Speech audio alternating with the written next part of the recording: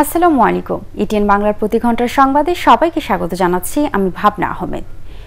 নাব্য সংকটের কারণে সকালে মাছ নদীতে দুটি ফেরি আটকে যাওয়ার কাঁঠালবাড়ি শিমুলিয়া নৌ রুটে ফেরি চলাচল বন্ধ করে দেওয়া হয়েছে। ঘাটে মাইকিং করে বিকল্প রুট ব্যবহারের পরামর্শ দিয়েছে বিআইডব্লিউটিসি কর্তৃপক্ষ। মূলত নাব্য সংকটের কারণে দুর্ঘটনা এড়াতে ফেরি চলাচল বন্ধের নির্দেশ দেওয়া হয়েছে। পদ্মা নদীতে নাব্য সংকটের কারণে গত পাঁচ দিন ধরে কাঁঠালবাড়ি শিমুলিয়া নৌ রুটে ফেরি চলাচল ব্যাহত হচ্ছে। নৌ দুর্ঘটনা এড়াতে প্রতিদিন সন্ধ্যা ছয়টা থেকে সকাল ছয়টা পর্যন্ত এই রুটে ফেরি চলাচল বন্ধ রাখা হয়। নতুন ঘোষণার পর ফেরি চলাচল বন্ধ থাকায় ঘাটে চরম দুর্ভোগের সৃষ্টি হয়েছে। তবে লঞ্চ ও স্পিডবোট চলাচল স্বাভাবিক রয়েছে। কাঁঠালবাড়ি শিমুলিয়া নৌর উঠে অচলাবস্থা সৃষ্টি হয় দৌলতদিয়া পাটুরিয়া ঘাটে চাপ বেড়েছে। নাব্যতা সংকট ও অতিরিক্ত গাড়ির চাপে পাটুরিয়া দৌলতদিয়া নৌরুঠের পাটুরিয়া ঘাটে দীর্ঘ যানজটের সৃষ্টি হয়েছে। ঘাটে পাঁচশোরও বেশি যানবাহন আটকে থাকায় বেশ দুর্ভোগে পড়েছে যাত্রী ও পরিবহন শ্রমিকরা। দুবছরের কারণে ফেরি চলাচলে বিঘ্ন ঘটায় এ দুর্ভোগ। ফলে ফেরিগুলো বাধ্য হয়ে কম লোড নিয়ে পারাপার করছে। আবার শিমুলিয়া কাঁঠালবাড়ি নৌরোডে ফেরি চলাচল ব্যাহত হওয়ার কারণেও চাপ বেড়েছে পাটুরিয়া দৌলতদিয়ায়। বিআইডব্লিউটিসির ভারপ্রাপ্ত ডিজিএম জিল্লুর রহমান জানান, নদীতে ড্রেজিং করা হচ্ছে এবং এই নৌরুটে সতেরোটি ফেরির মধ্যে ষোলোটি ফেরি চলাচল করছে। শেরপুর জেলা কারাগারের মধ্যে বয়সী এক নারীর হাজির মৃত্যু হয়েছে। নিহত সুফিয়া বেগম জামালপুরের বক্সিগঞ্জ উপজেলার মৃত আয়ুব আলীর স্ত্রী। জেলার তরিকুল ইসলাম জানান, ডলার জালিয়াতি মামলার আসামি হিসেবে গত ২৬ আগস্ট ওই নারী আসামি জেলা কারাগারে আসে। বুধবার রাত পৌনে দশটার দিকে তিনি কারাগারে হঠাৎ অসুস্থ অবস্থায় অচেতন হয়ে পড়লে তাকে দ্রুত শেরপুর জেলা সদর হাসপাতালে নেওয়া হয়। সেখানে তার মৃত্যু ঘটে।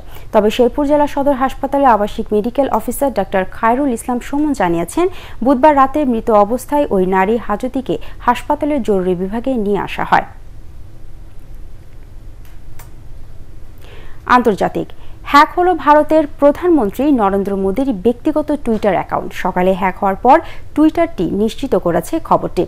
নরেন্দ্র মোদীর নিজস্ব ওয়েবসাইটে টুইটার অ্যাকাউন্ট থেকে কোভিড নাইন্টিন ত্রাণ তহবিলের জন্য অনুদানের ক্ষেত্রে ক্রিপ্টোকারেন্সি ব্যবহার করার নামে একাধিক টুইট করা হয়।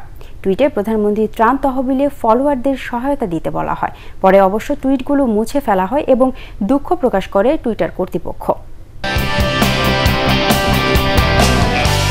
Yeah.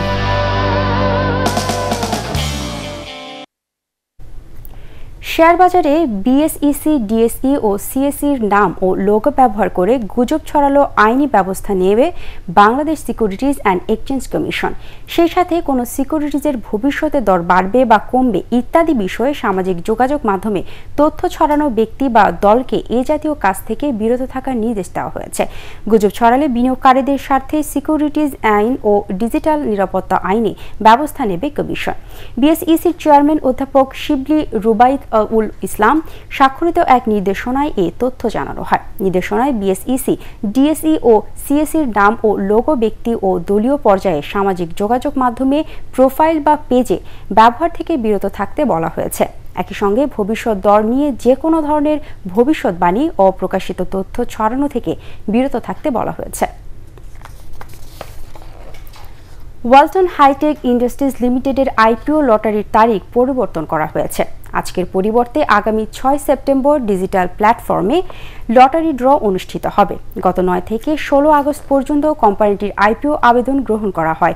দুশো বাহান্ন টাকা দরের শেয়ার ইস্যুর সিদ্ধান্ত নিয়েছে কোম্পানিটি। আইপিওতে উনত্রিশ টাকা আঠাশ হাজার তিনশো তেতাল্লিশটি শেয়ার ইস্যু করা হবে।